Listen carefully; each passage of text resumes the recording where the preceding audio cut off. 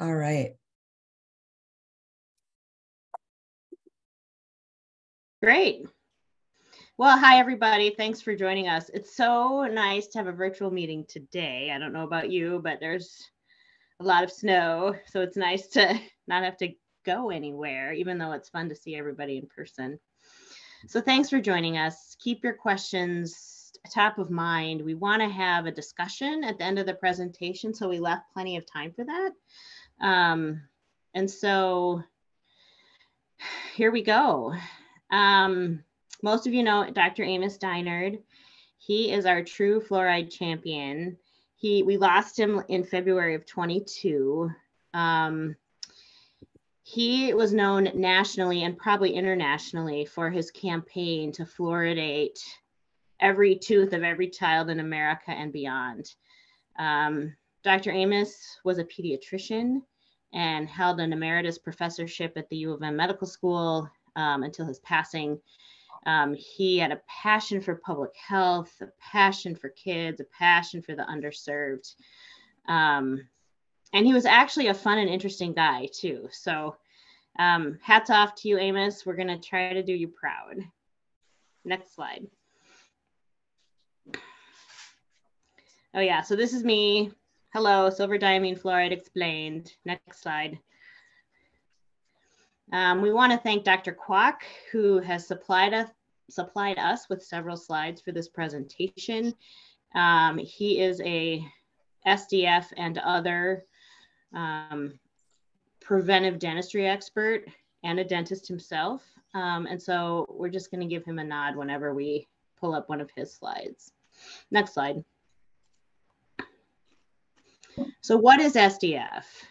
So here I'm going to get to be my chemistry geek self from undergrad, right? Some of you will be bored to tears.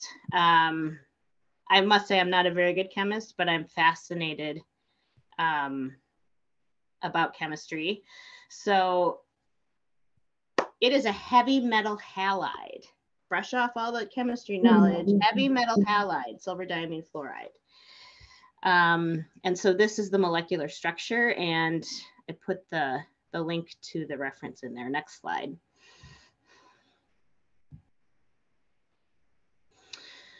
So um, this is a Dr. Kwok slide, thank you.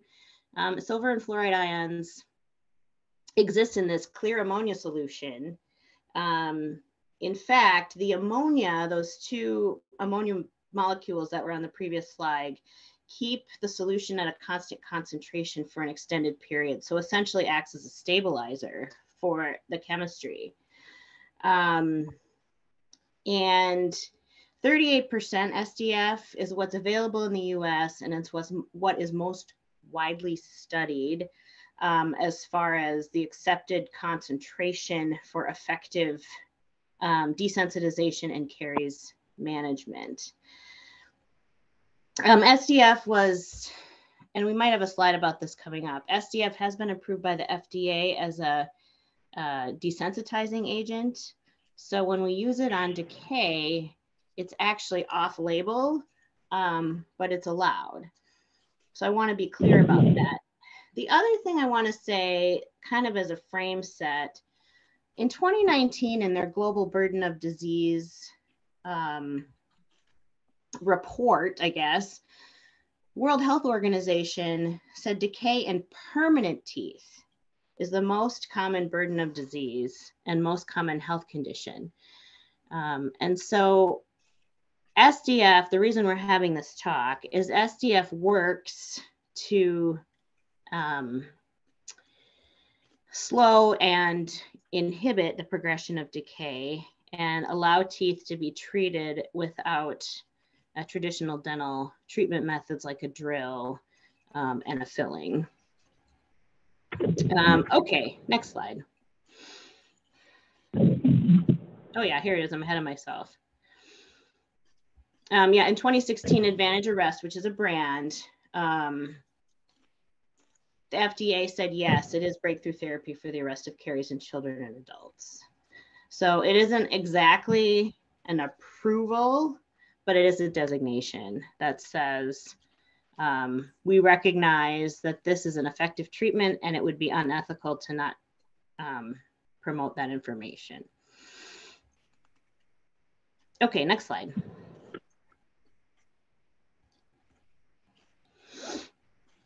Um, so the mechanisms of action. We already talked a little bit about the ammonia being a stabilizing agent for SDF. Um, SDF is alkaline. So brush off your pH chemistry from back in the day, right? So cariogenic bacteria, what does it give off? It gives off acid. And the acid is what actually causes the tooth to break down it's not the bacteria, the little bug itself, it's the byproduct of the bug that causes decay. So by having an alkaline solution, we're already neutralizing the effects of the bacteria before we even get started. Um, and we've shown that SDF inhibits the biofilm growth, um, particularly of these bacteria. Um, silver chloride is the main precipitate.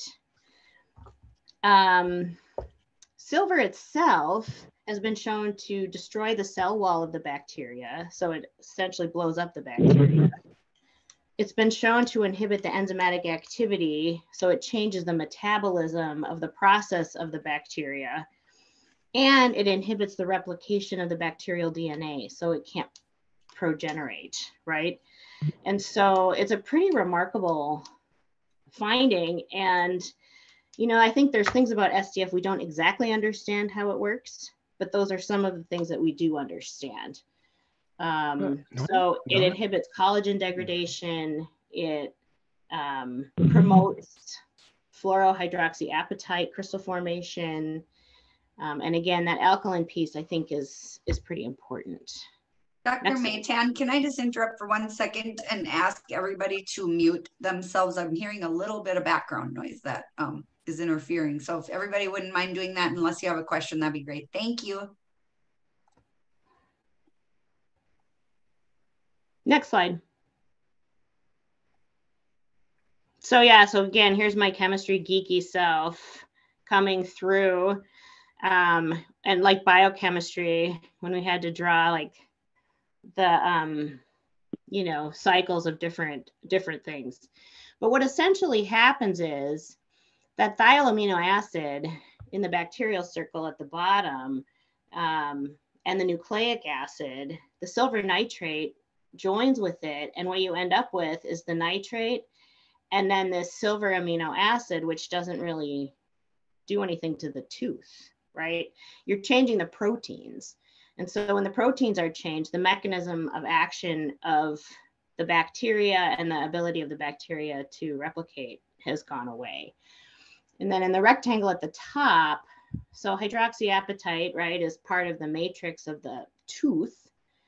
Um, and when you add in the fluoride, it makes fluoroapatite, which is stronger and it um, inhibits the calcium dissolution from the lesions. lesions. So the SDF actually um, prevents the calcium from leaching out. It's pretty cool. Okay, next slide.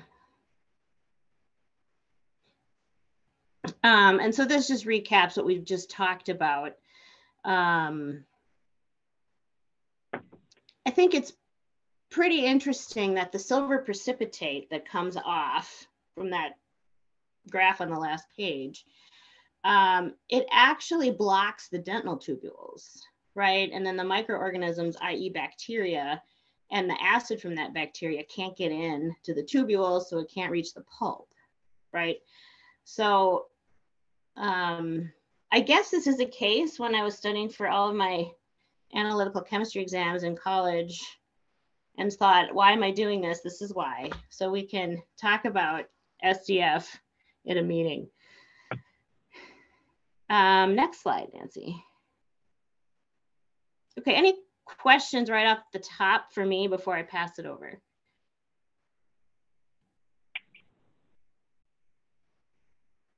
I don't see anything in the chat at this time. Okay, great. Dr. Jahani Kandori, it's all yours. Well, thank you so much, uh, Dr. Maytan. Um, next slide, please.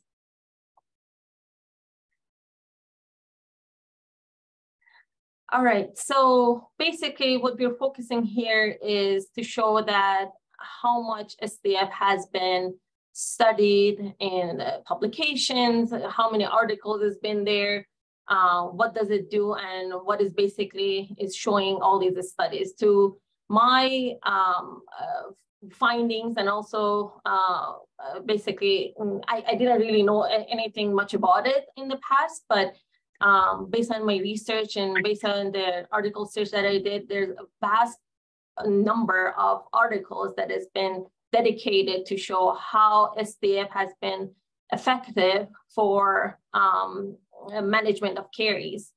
Um, there are some studies that also raising importance of the minimal invasive uh, dentist, dentistry and also preventative dentistry um, that this uh, product can offer and uh, also, so there, the vast majority of the uh, studies are done on children, but then also some has been focused on older adults as well, which I feel like that uh, this would, that's a potential for this product um, to be looked at more, especially that um, we have a few clinical trials that showed on the uh, uh, elder adults, uh, especially those with high risk um, and those with limited to no access of the dental services um, due to economic, social, social or even um, like functional challenges.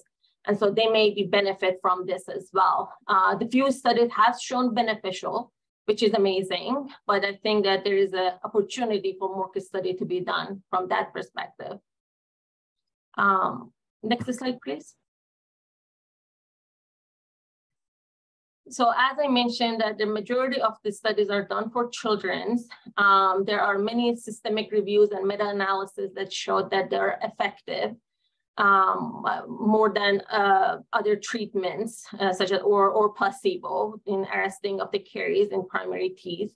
Um, also, some of the studies have shown, which I found it yesterday, I was looking at it, that showed up to 89% arrest compared to placebo. So that's that's very promising. Um, there are a few studies have uh, focused on the adverse effect of the product, mainly the black staining, that it's a potential disadvantage, uh, but then also uh, uh mentioning that most of the parents are favorable to select the SDF over the invasive techniques. It's because of the easy access, um, easy ap uh, application, and then it's painless and safe. Next slide, please.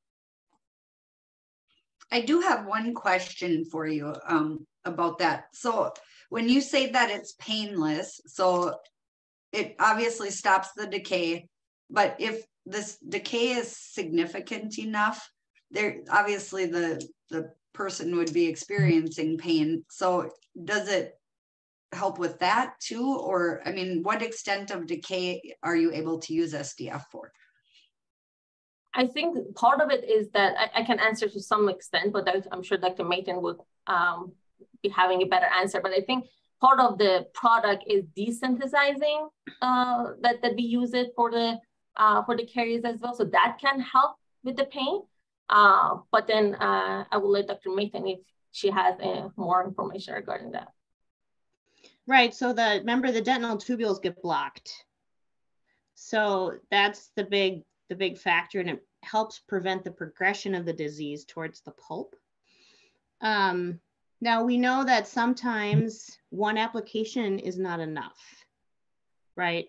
Like it might slow it, but it might not stop it totally or, you know, so, um, so Deb will be talking about this in a little bit, but the sometimes multiple applications on the same tooth are required. Um, in Minnesota Medicaid, FYI, we pay for SDF on up to five teeth per visit and once every six month per tooth number.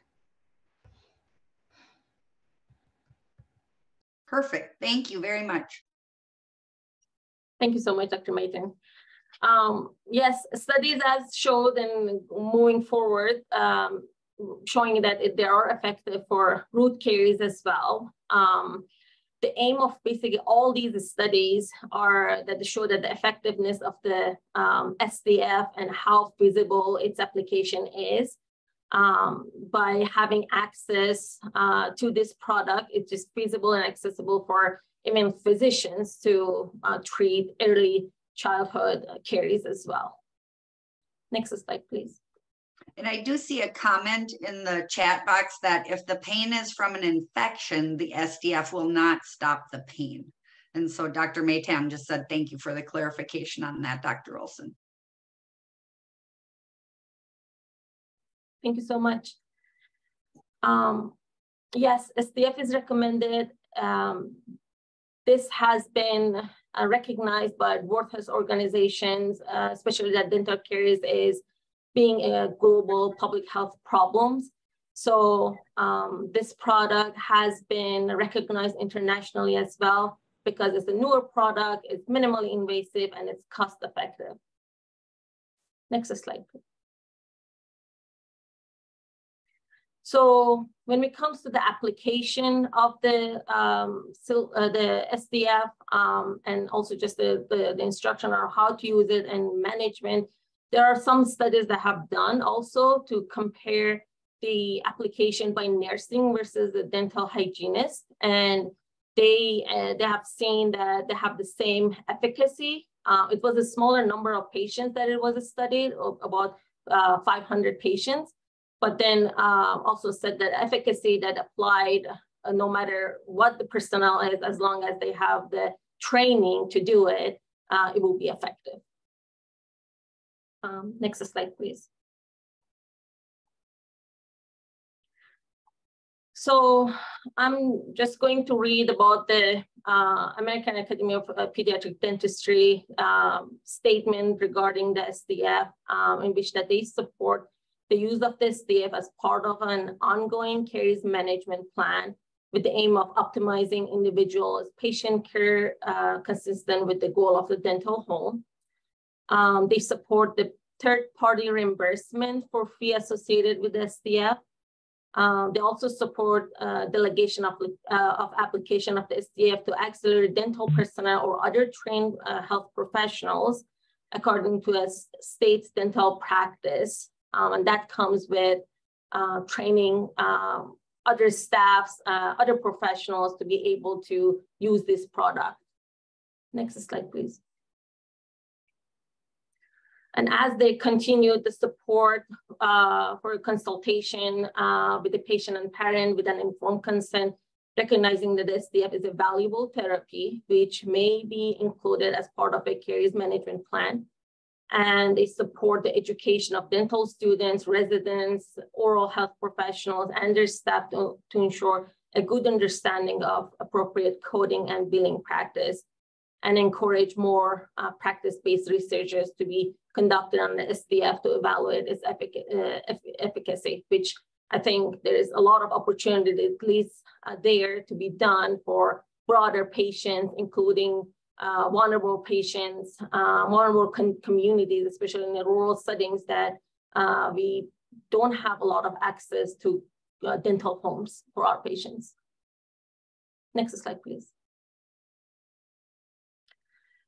American Association of Pediatricians also uh, suggesting that pediatricians who are familiar with the science of dental caries, capable of assessing the uh, caries risk comfortable with applying various strategies of the prevention and intervention um, uh, connected to the dental resources and familiar with the social determinant of children's uh, health can contribute to the health of their uh, parent, uh, patients, which that brings up the importance of uh, us as a primary care providers um, having the knowledge of uh, dental health added into our training and be able to use that in order to uh, help our patients more.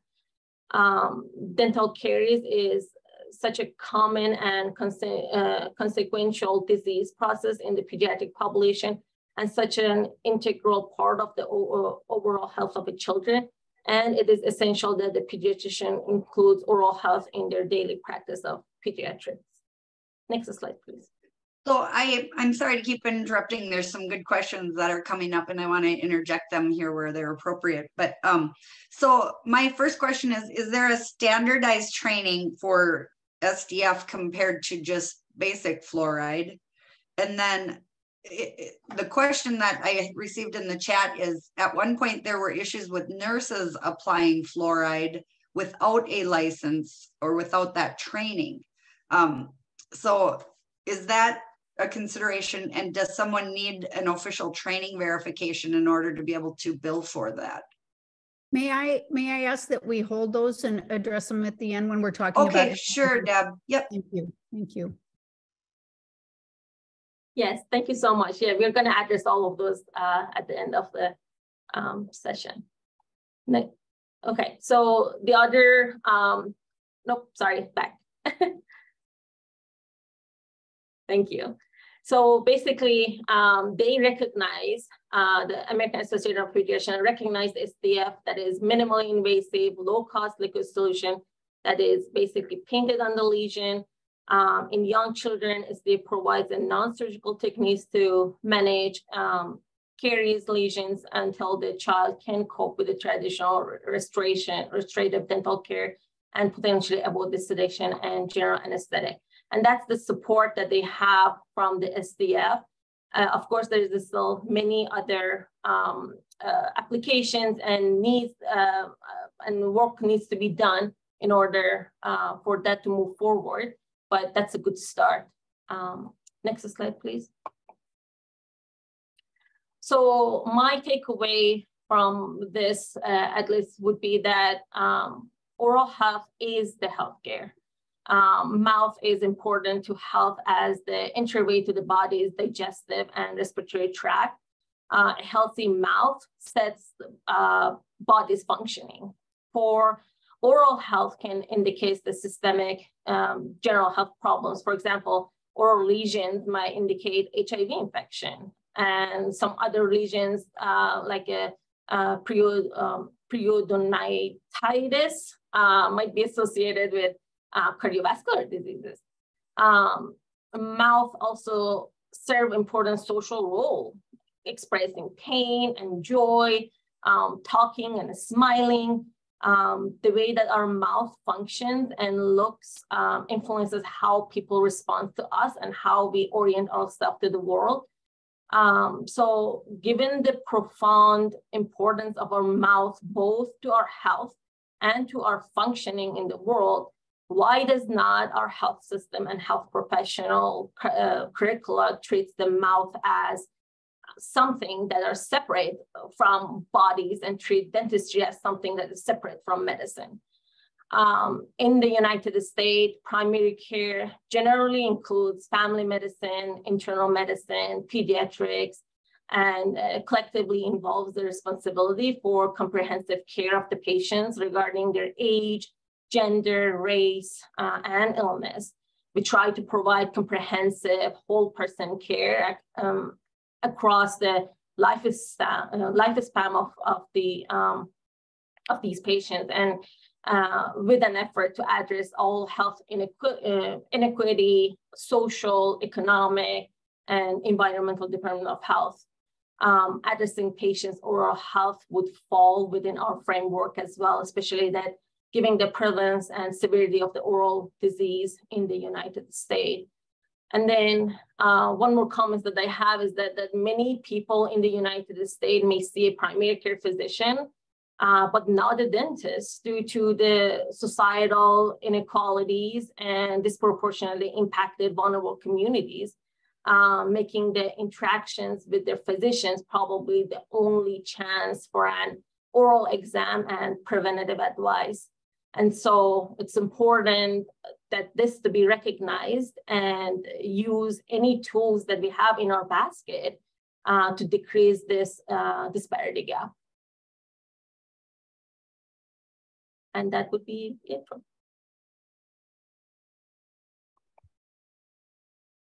All right. Well, thank you, Dr. Maytan and Dr. Jahani. So everybody, you've heard from a geek, a chemistry geek dentist, who uh, knows uh, special needs patients and uh, dental policy and uh, public programs.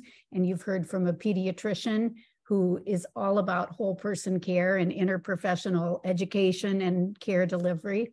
Um, and I think that lays the background for uh, my what I'm going to go through quickly and try to plant a few seeds for our discussion here. The how and why to apply SDF. Next slide, please. And this isn't going to be a big primer. And the question came up, and I think we should follow up uh, through the coalition website with a bunch of resources for things how to do this, including, and this is a little bit of a preview. Um, part of the reason why we're having this conversation is the fact that uh, there will be a CPT code for medical providers to begin providing this. And I think July might be the date that it's active, and the, the 2023 code book isn't even out yet um, but will be soon. So I can't tell you the number of that, but there will be a code. And uh, perhaps in the discussion, Dr. Maytan, Maytan can talk about whether there's discussions at DHS about reimbursing for it. So this isn't going to be, I'm going to show you some quick things, but the, the main thing I want uh, to tell you in advance what I want you to take away from this is you've heard that it there's a lot of reason to believe it works, both in the science of it and the and the uh, studies that have been done, and that tooth decay is a far too prevalent problem and that we have a system where if we can halt that and get people out of pain and not have disease get worse then we can uh, the, the system the existing system and the expansions of the system can go further. And um, so as a hygienist th this is such an exciting thing for me. So anyway now i'll get back onto the slides. So this is just one product uh, sdf and shows that you can purchase it in a, a, bottle where it's dispensed like in that little blue cup and or you can get a slightly more expensive but perhaps more convenient individual doses of it and they come with micro brushes and so it's this is uh, not as complicated as many things that the providers that might be doing this uh, would otherwise do. So next slide please uh, I'm not going to read these, but there they are. And this will be in your handouts if you want to do this. But again, there's a lot of resources and videos to watch how it's done uh, online. And uh, just making the point again that this is, you know, there's a drying and a and applying and a goodbying. It's it's pretty fast uh, type of thing. Next slide, please. The last item on that was about the staining. Um, this actually is good because somebody asked, or it was brought up that you might need to uh, apply it more than once. And this is a slide from Dr. Kwok that just shows keeping a tooth from, uh, looks like it had been sealed, but not all of the grooves were sealed. So they applied SDF and it uh, did not advance in those that, that period of four years. Next slide, please. Um, these are going to be some pictures uh, of cases that were done at Apple Tree, just so that you can see the staining of the decay. It does not in, uh, stain the entire tooth, it stains the active decay, the decalcification, and so on. So you can see how it looked before, that chalky white, and this one actually looks like it has a little bit of cavitation. And then in the next one, how it looks uh, dark. Next slide, please. Uh, here's a case that was done and that quite a bit of uh, the enamel gone there and how it looked when it was um, treated and the disease was treated, the decay was arrested, and then how the restoration restored the form and function of that, the appearance and so on. Next slide.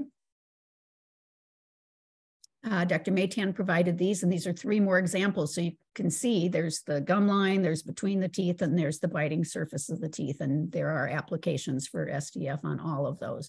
Sometimes it's the definitive uh, treatment. Let's say that one of those uh, baby teeth were going to be lost soon. Might be that might be it. And at least you aren't uh, having all of that uh, bacteria preparing the environment for uh, new targets on, on permanent teeth, but you're getting that under control. So might be the final thing, might be that a, a tooth colored restoration gets placed. Um, it can be definitive or an interim step. Next slide, please.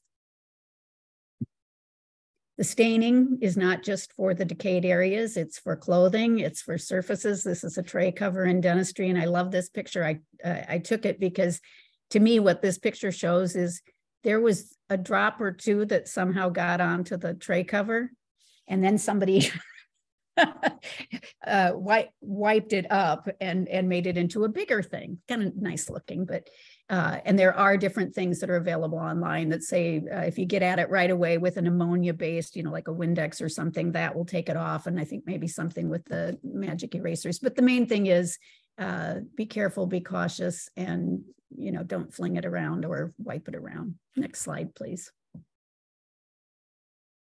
So these are the these are some of the concerns that as Dr. Jahani and Dr. Maytan and I were thinking about, you know, what are the concerns that people might have? There, so there's the staining. You do have to train staff, and we had already had a question about that.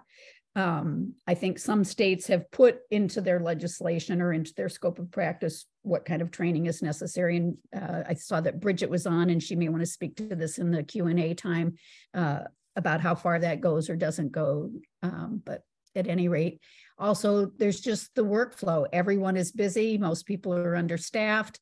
And so how do you incorporate that into the protocols? Dr. Jahani spoke uh, eloquently in our planning about how there are standard things that uh, the provider and the patient discuss. The provider goes on and one of their staff members comes in and gives the vaccination. That's how it was for my flu shot this year and, and so on. So, um, but there you do have to develop that workflow, the available time. We all know that one.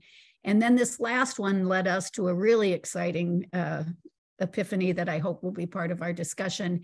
Um, we have these siloed records that make it difficult to do whole person care and to know where things are.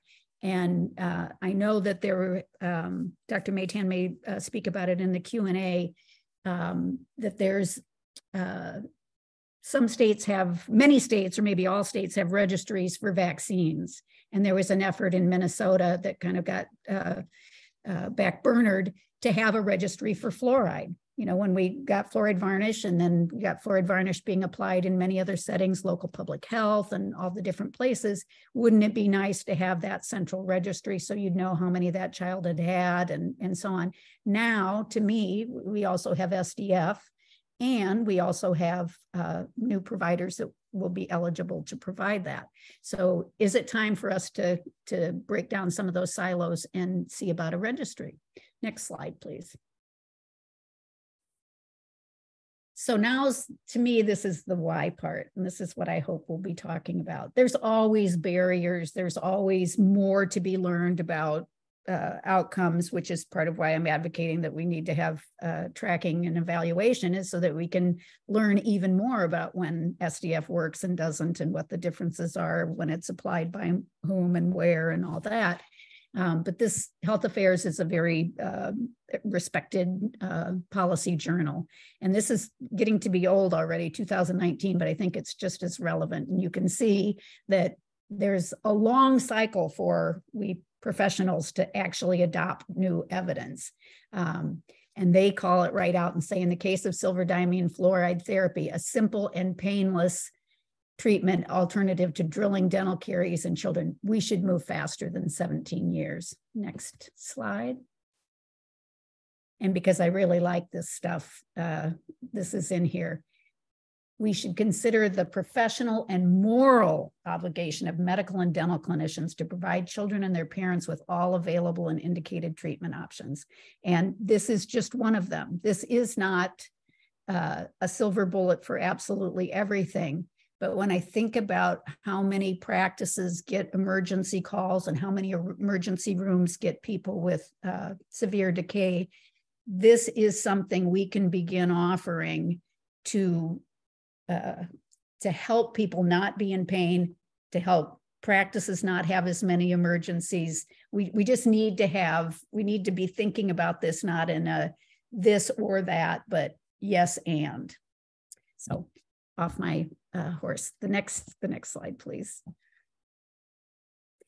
Now I want to open it up. These are our, uh, this is our contact information. We're happy to hear from everyone after this. Nancy will distribute our slides, but I, what I want us to engage in any specific questions, but also knowing that there's going to be a code for physicians, knowing how we have worked on um, getting fluoride out there with Amos as our uh, um, leader on that. what can Minnesota do with this opportunity to address oral health in an interprofessional way that benefits all of our patients, medical, dental, public health, education, all of those. So with that, I think we're going to open it up for discussion. Wonderful. Deb, Faith Kidder has a registry comment to make. So Faith, if you want to go.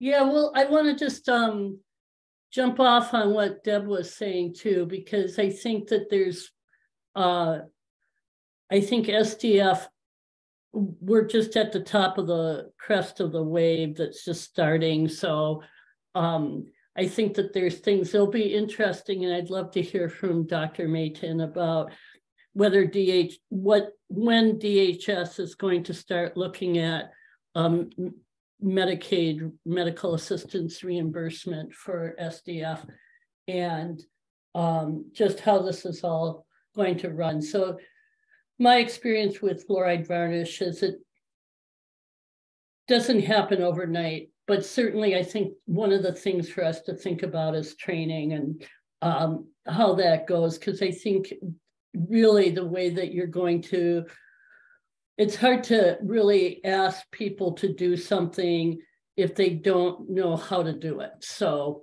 um, that to me is a start. But as far as the registry goes,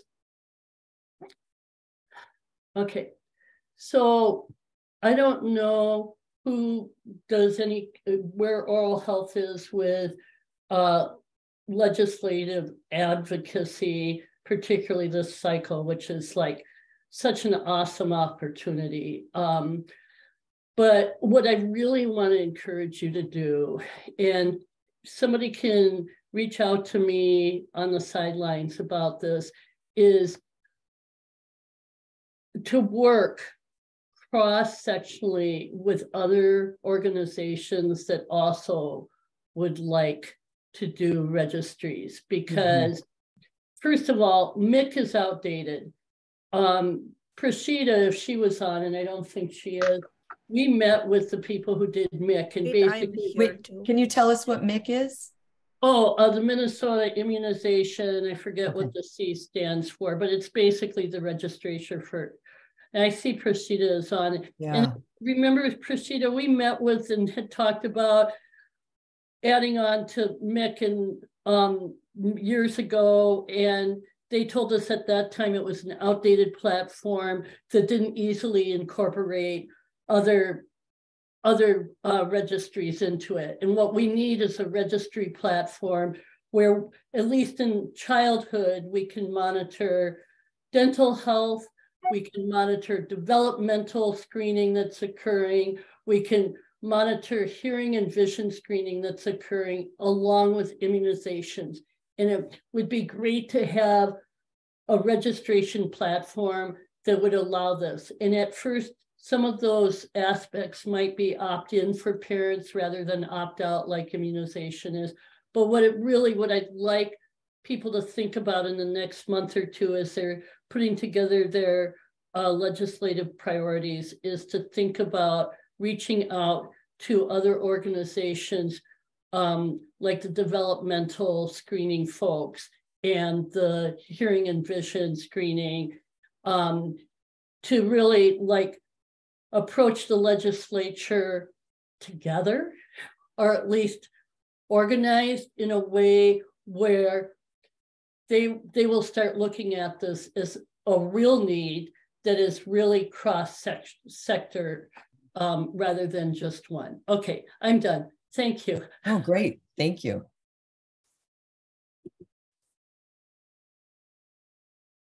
while we wait for the next person to unmute yeah. or whatever, um, thank yeah. you, Faith. Those are really great. And I did fail to mention, in addition to all the things that are geared towards dental practices or community based uh, dental uh, settings, uh, applying fluoride varnish.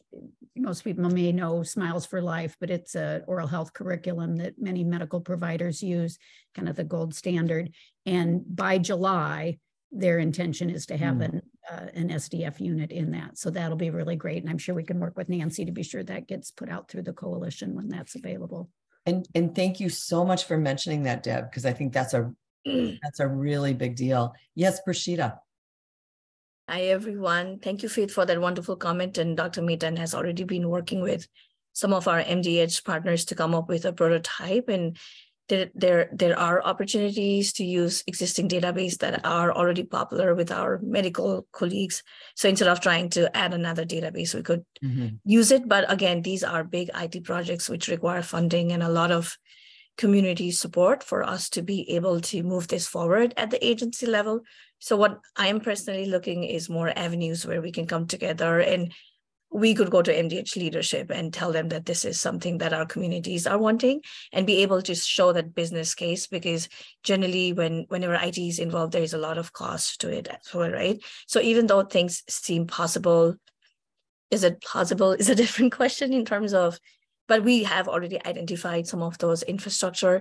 The second thing is that because we don't know exactly what are our next steps, so we would be continuing uh, Dr. Amos' um, legacy by convening Go Forth and Varnish uh, task force and some of our uh, medical colleagues, including Dr. Crespo, Dr. Erickson, have already, um, you know, uh, committed to being part of the committee. So I feel like, and Chris, uh, Chris uh, used to be um, is still the program director for crushed cavities program and worked very closely with Dr. Amos. So she has a small contract with MDH. So she will be convening the task force and bringing everybody together so we can talk about what is the next step we should be looking at. So I think there would be a space for us to talk more about these great um, uh, you know comments that we are seeing in the chat box. But just wanted to let you know that that's in the pipeline.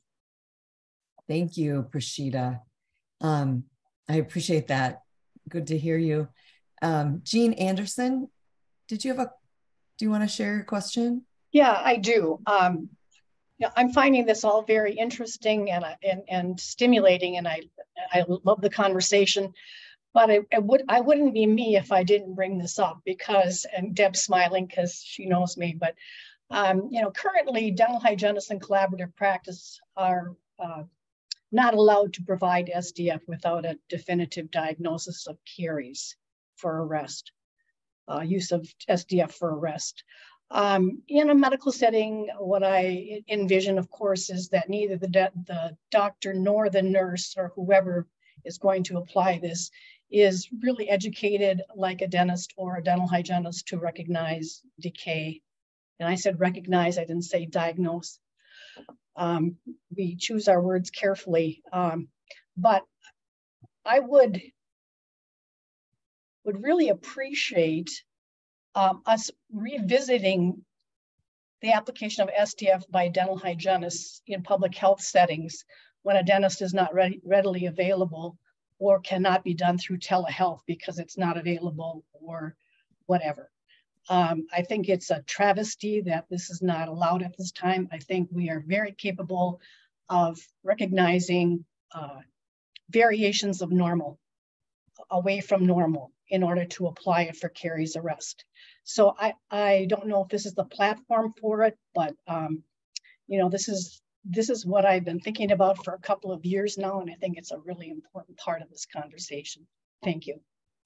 Thanks, Jean. And I think Deb had something and so did Dr. Prashita. So, uh, okay. You want me to go first, Dr. Prashita? I will want Deb to go first. I'm going to add. okay. This is exactly the forum, Jean. And um, I'm not always a glass half full person, but I actually feel like this is another opportunity to revisit that. And you may have noticed subtly in the slides that the pediatric dentists would like this to be after an exam by a dentist. Not every state requires that, and I can't spout off the um, which states allow a hygienist to do it, but I will tell you, and Claire Larkin is on this call. Uh, she was a panelist with an MDA symposium about sealants. And there was a time when the sealants could not be done by a hygienist without a prior exam. So they looked at the evidence and the conclusion of that. I remember Paul Walker, pediatric dentist, standing up and uh, various other people um, saying the harm of not allowing this so exceeds any risk of doing it that we are going to authorize this. And there were things in this, the presentations from the chemistry geek and the uh, pediatrician, and I guess in mine too, of showing you uh, that it is not a dangerous, other than staining, uh, procedure to do. And the wrinkle we didn't get into that I think uh, with the diagnosis or uh, recognition of deviation from normal uh, that you saw, there's a couple elements to that. Uh, my boss, Dr. Helgeson, says SDF is kind of the ultimate disclosing solution. And you might not know whether you are preventing decay or arresting it until you apply it. And there are preventive benefits, especially those root surfaces in, in elders. There's a lot of evidence around that. So to me, um, and I'm not saying go out and just, you know, throw SDF on uh, in everyone's mouth, but I feel even less hung up about the diagnosis. I'm more interested in being able to track and see they did it in the physician's office. Maybe it's they're doing a caries risk assessment and deciding this person should have that. And then they do it, and some of it's arrest and some of it's uh, preventative. But then don't I want to be able to know how many times that kid had that or that adult or whoever had that, how many times that tooth was treated and whether it subsequently needed a filling. Now I'm getting into uh, uh, Delta Dental stuff, you know, like you want to know that a treatment is effective. Well, DHS does too. So that's another reason to have this registry so we can give a lot of good information to researchers to look at what the ultimate outcomes are. And it, it sort of addresses your diagnosis thing, Jean, but I think this is exactly the, the time for us to be looking at collaborative dental hygiene practice in medical settings, other settings. I, I don't even know because I think a lot of it is very practice and personnel specific. If you get an oral health champion, CNA or somebody, I want them doing it. If you have a practice that doesn't want to do it, but they would welcome having a hygienist in on their whichever clinic days or whatever, then that's great too. So I'm sorry, Dr. Rashid, I went on a little long there. Thank you. So I agree to everything that Deb said. And because our coalition always provides that brave space for us to talk. So I'm going to put on my dental public health health hat and talk about science and evidence, right? So silver diamine fluoride, if you technically look at the evidence that we have, has obtained the FDA clearance as a desensitizing agent. Let's start there. So if a product has been used off-label for decay or whatever, and we go back to the FDA clearance for using SDF as a desensitizing agent, then dental hygienists are obviously within their scope of practice to do the work. And even when we place sealant in a community setting, there's always collaborative practice agreement. The value and the beauty of those agreement is that there's always a dentist to make or help make a determination whether the tooth should be sealed or referred it's the same issue in the sealant. But over the time, there has been calibration training. There has been a lot of communication between our hygienists or advanced dental therapists who work, who continue to work with dentists to make that determination, right? But the whole idea of using silver diamine fluoride off-label is to arrest the caries because we know if you were at the school nurses conference and you would have met those nurses who told you that the, the, the ideal situation is that kids come to them with smaller abscess.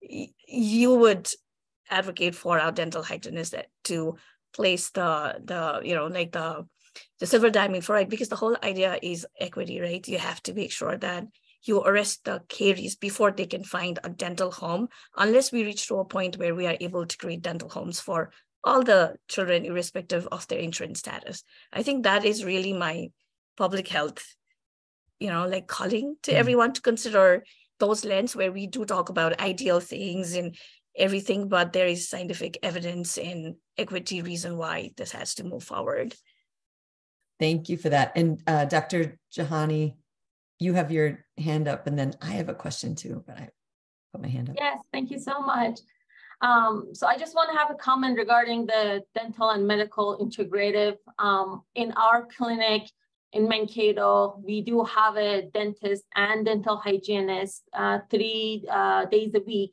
Monday, Wednesday, and Friday, um, joining us in our clinic um, when we have a well child visit that coming, um, that they don't have a dental home, we provide the dental care here in our clinic for them. And so that can give us a little bit of the help in order to recognize and uh, uh, try to prevent but this is just a small setting at this point. Um, we do benefit for learning and training more staff to in order even for the application and such.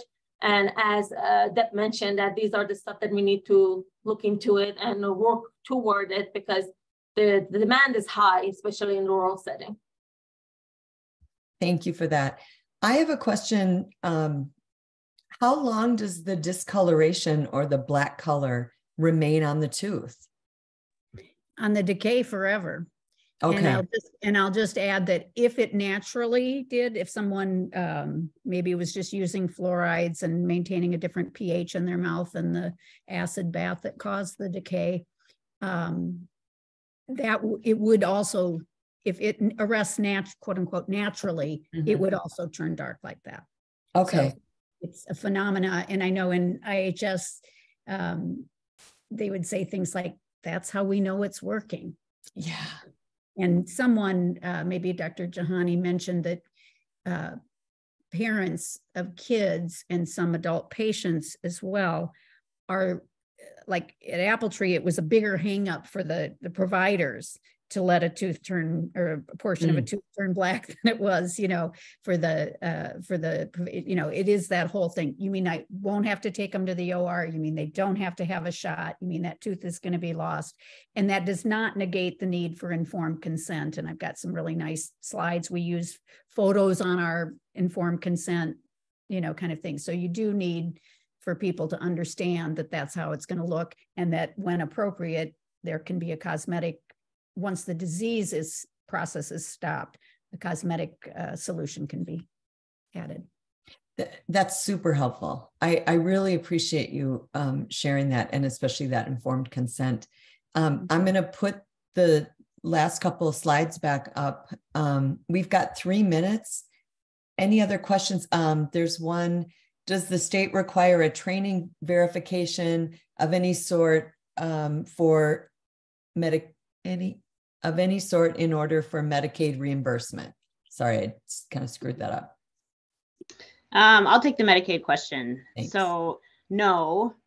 Um, and with respect to the question about is DHS talking about covering the CPT code? Yes, the answer is yes. The code is not out yet. It should be coming out this month. The codes will go into effect July 1st. My recommendation is going to be the same as it, as it is for fluoride varnish. We pay fluoride varnish the same amount in medicine as we do in dentistry. The coverage, you know, is the same. So it's going to, my recommendation to the internal powers that be is that we do the same for SDF, that the reimbursement's the same. Thank you. Um, we don't require anybody to submit their fluoride varnish Smiles for Life training to Medicaid. I don't think we're going to require it for SDF application. Thank you for that. We, the three of you really round out this discussion so well. You each have a have a piece of this pie that's really helpful. Um, and I'm the first one to admit that I I didn't know much. Um, Jean, do you have a Another comment or question? Yes, Dr. Maytan, are you just speaking of the use of S prevention or is this community? So Jean, half of what you said like wasn't there yeah. for me. Okay. Um, and I can talk to you offline because we're out of time, but I will just say this, that we um, at DHS if a physician charges SDF to DHS, we're not asking them to tell us if it was for prevention or for caries arresting. So I don't know if that's helpful, but you're frozen. and in fact, in fact, I'll just dovetail on that. We and also, do follow sorry. up with this, Jean. Oh, Bridget. Bridget's going to say something, but I do just want to say that uh, there is a separate code for prevention. It is not currently covered. And that is another one where we don't necessarily get all the information we'd really like to have to understand. But again, you may not know whether you're preventing or arresting until after. And I see Bridget and Nancy have. Yeah, Bridget. Yeah, I mean, I was I was really just going to speak to that too about there. You know, there is a separate coding. I mean, as far as the duty itself, we do not differentiate what it's being used for. In you know, basically they're allowed to do the application. So it's really, I mean, the, that's kind of at the provider level, but there is different coding for things. Mm-hmm. Um, but kind of what Deb is saying too, sometimes it's both. so right, right. It, often both. That's that's exactly right, Bridget. On one tooth, it might be preventive, and on mm-hmm. another tooth, it might be that. And uh, there's a subtlety to what you said, Bridget, and I think it's really important because when we're trying to implement something new like this, we have uh, scope of practice, we have uh, coding, and I'm a big believer in let's not code in a distorted way that we don't really understand what we did.